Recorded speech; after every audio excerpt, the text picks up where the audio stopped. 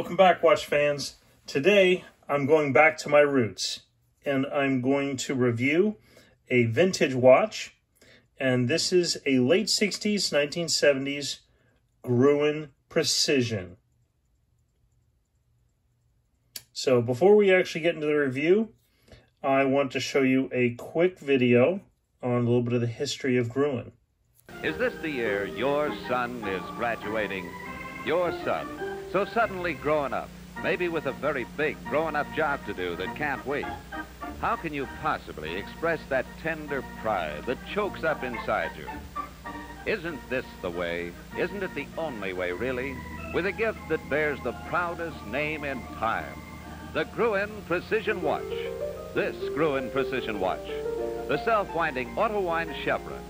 There, just normal wrist movements, just turning his wrist to admire it, keeps his auto-wind chevron wound. He just sets it and forgets it. It winds itself. Here truly is the most modern watch in the world. 7150. But wait, is he stepping from campus into business, into law, into a position where the very look of success can be a step toward success? Then why not make your gift the watch that was actually created for the one man in a thousand, the distinguished wrist curve Gruen Curvex, the diamond dial Curvex Executive. In 14 karat gold with five brilliant diamonds on the dial, $200. Decide right now to stop in at your Gruen Jewelers tomorrow.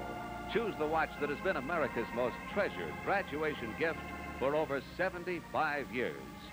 Gruen, the Precision Watch. All right, hope you enjoyed that video.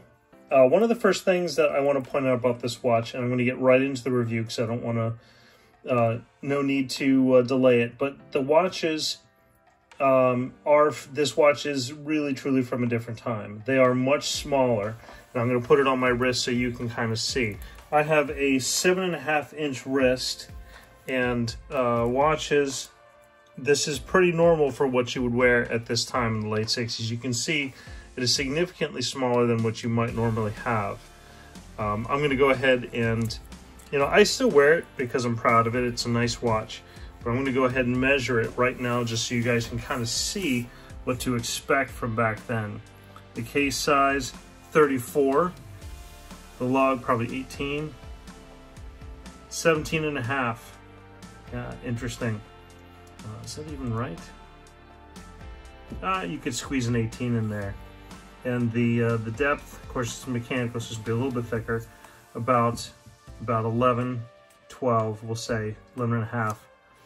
Um, and the lug size, lug to lug, is about about 36 and a half. So this was considered a normal, maybe even slightly on the larger side kind of watch. There were a lot of men's watches that were even smaller than this, but this was considered quite normal. And I think you can still even get some watches, like the, uh, uh, some of the higher end ones are still available in smaller size. Now, when this watch was made, this is probably late 60s, I'd have to guess. Um, the quartz, quartz crisis was, I don't know if people didn't really have quartz watches in the late 60s, but uh, things were actually starting to get a little bit cheaper. Uh, there's a lot of interesting history about this watch, which I'll go through. Um, but there's there's a way that you can tell for a lot of these watches, right? The way that I know that this watch, I mean, this watch doesn't really have um, anything in terms of water resistance, but one of the ways that you can tell a watch's age is shock protected, of course, is Incabloc uh, some version of it, right? Incabloc is patented, but Incabloc came out around the 19, 1930s and was pretty common in watches in the late 40s, early 50s. And any watch that was made before 1963 said, uh, typically said that it was waterproof. Now in the United States, there was a class action lawsuit and uh, the watchmakers were no longer allowed to put waterproof because in fact they were not waterproof. They were only water resistant, and that started the whole trend of how how deep really truly a watch could could go. And then you had the whole skin diver movement, which is Uh, you know, don't put it into eBay into um, into YouTube because that uh, designates something else. But back in the day, it meant that a watch that you would basically just wear um, snorkeling, right? So not something you would actually go diving in. Those are called skin divers, and they were generally 100, 100 meter dive watches. Um, so this watch came from my wife's father's father. Um, it wasn't in the greatest shape. I've replaced the crystal. The face was nice. It is gold. Um, it's a little worn, but you know, it's got some character and I like it. I cleaned it up and I replaced the watch strap. This is a uh, an eel watch strap. Uh, and one of the things that's kind of interesting, I get a lot of questions about this sometimes, believe it or not, but eel watch straps uh, are not magnetic. Uh, they do not have any electricity inherent inherently left in them.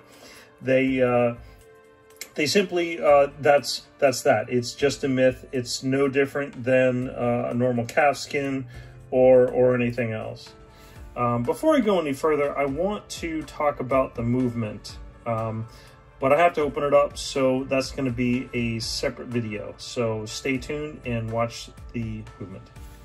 All right, guys, I want to show you the movement itself. So I'll try and hold this steady. I don't have uh, a mount for this, so it's going to be a little bit jiggly. But uh, I'm also going to hopefully you'll be able to hear it run. So I'm going to try to be quiet and get this as close to camera as possible.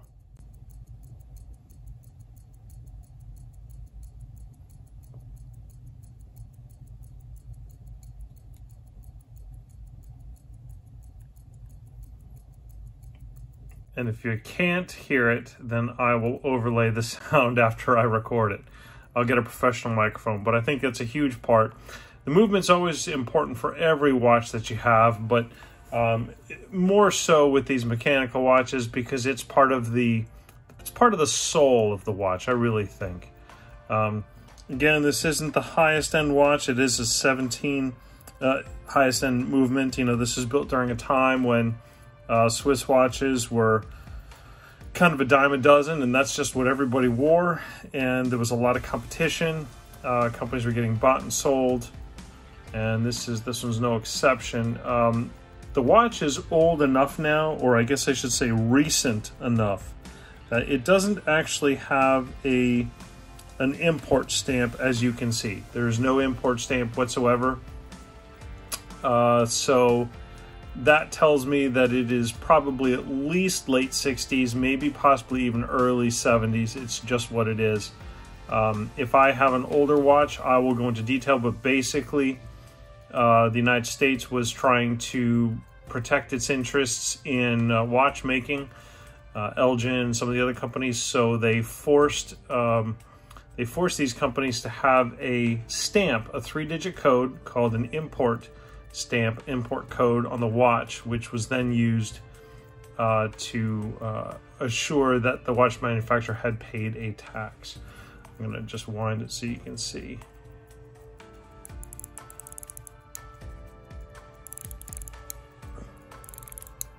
But um, as I'll mention later, you can also see that although it's all Swiss, it is in fact assembled in Hong Kong, which was very common for the time. So as you can see, it is a Swiss watch. Gruen is a Swiss watch company uh, at this point, and uh, at least at the point that this watch was made.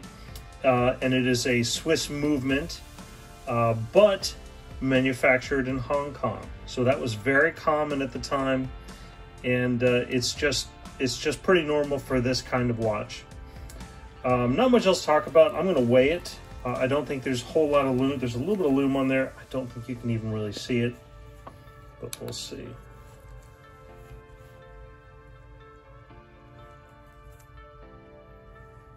So very light, 43 grams, wet. um, but you know, it's it's a nice watch. We'll, I'll see if there's any lume, but I don't think you can even really bring anything up. I, I actually only see um, you can kind of see it just on the hands, the hour and minute hand, and there's really nothing to see. I'll put a picture up here if I can get it to show up later on. Uh, it's still during the day. Um, but, uh, yep, um, oh, I want you guys to hear this.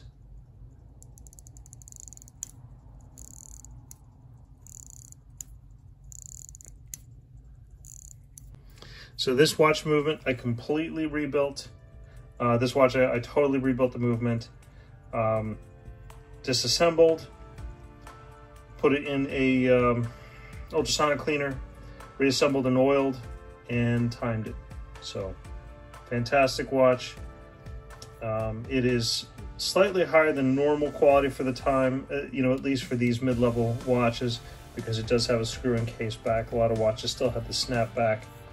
So, but um, if you enjoyed this review, uh, please give me a thumbs up. If you want to see more vintage reviews, please let me know in the comments. I have a whole bunch of vintage watches. So I've sold a few of them, but it's what it is, you know. This one, uh, this one uh, I'll likely keep because it has some family uh, attachment. But um, please subscribe. Really appreciate it. Thank you very much.